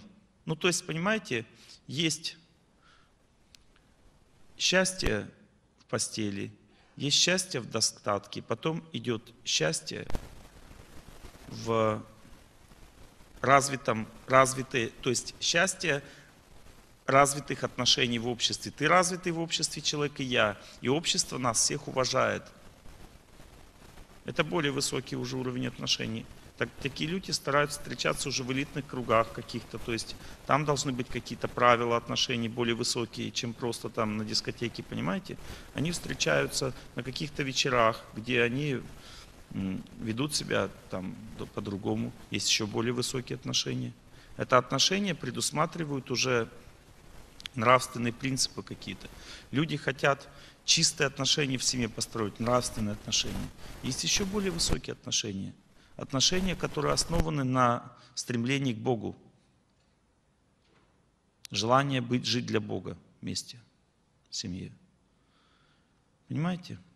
То есть разные концепции счастья. И эти концепции счастья тянут человека в жизнь за собой. Можно разобрать, как это работает. Смотрите, самая низшая концепция. Мы хотим просто вот, чтобы хорошо было с другом, с близким человеком. Просто хорошо. Три года максимум наслаждения. Начинается все с наслаждения. Такие отношения начинаются просто с романса. То есть мы балдеем, наслаждаемся, у нас э, вот это романтические отношения идут. Потом постепенно романтические отношения заканчиваются, потому что надо решить а, многие вопросы, которые уже не романтическую природу имеют. Например, мы будем расписываться или нет. Это не романтический вопрос. А в романтических отношениях такие вопросы мешают. Поэтому люди, когда они строят романтические отношения, они говорят друг другу, ну давай поживем просто гражданским браком сейчас. Чего об этом париться? Ну гражданским браком поживем. А почему они париться не хотят? В чем причина? А потому что они не верят друг другу. В таких отношениях веры не бывает. Потому что, чтобы верить человеку, надо с ним познакомиться. А секс это еще не повод для знакомства, понимаете? Люди, когда в сексе живут, они просто наслаждаются друг другом. Знакомиться означает что-то сердцем делать друг друг друга. Это совсем другое, это разные вещи совсем. Сердцем делать означает быть верной, например. Но это другая уже вещь. Она как бы в- картинку не входила. Но в семье невозможно жить, не, не быть верным, понимаете? Рано или поздно приходится об этом думать. Потому что если ты неверный в семье, значит, надо как-то теперь строить отношения с близким человеком. А эти отношения уже не построишь, как раньше. Нужно как-то финтить, вилять. И в этом проблема. Видите, оказывается, есть смысл говорить до создания семьи о том, как будет жить наша семья. Но чтобы говорить, для этого нужно быть трезвым. Люди, когда наслаждаются друг другом, они не могут трезво и серьезно говорить друг с другом, потому что это не то настроение. Но эта сила наслаждения настолько сильна и высока, она настолько мощную природу имеет, что человек под влиянием этой силы, он не может опомниться. Он просто балдеет и все, понимаете? Ему все равно, как будет дальше строиться жизнь, потому что он верит, что все будет хорошо. Вот это ощущение счастья, исходящее от близкого человека, дает ему веру в сердце. И он думает, да все будет классно, мы так совместим, мы так любим друг друга. И потом, когда благочестие кончается, вот эта сила кончается, благочестие, наступает интересное чувство, и близкий человек другому говорит близкому человеку, а почему ты сейчас мне так не улыбаешься, как раньше? Почему ты сейчас так со мной не разговариваешь, как раньше? Почему ты не можешь так же себя вести, как раньше? Ведь нам же с тобой было хорошо друг с другом. И в какой-то момент он понимает, что от нас с тобой это не зависит. Это не зависит от двух людей. Они, может быть, и хотели, как раньше, но они не могут, потому что вот эта энергия благочестия уже закончилась. Потому что не может в этом мире человек все время балдеть. Потому что жизнь человеческая не предназначена для балдежа. Итак, смотрите.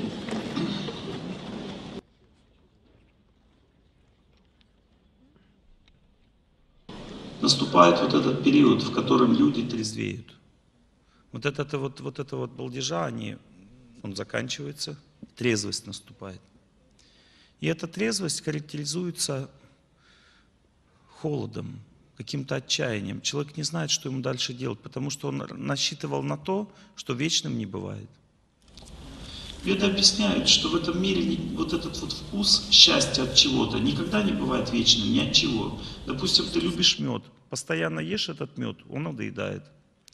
Любишь, допустим, какой-то курорт, ездишь туда каждый раз, надоедает. Уже не можешь туда дальше есть, потому что надоел. А с одним и тем же человеком надо всю жизнь жить, понимаете?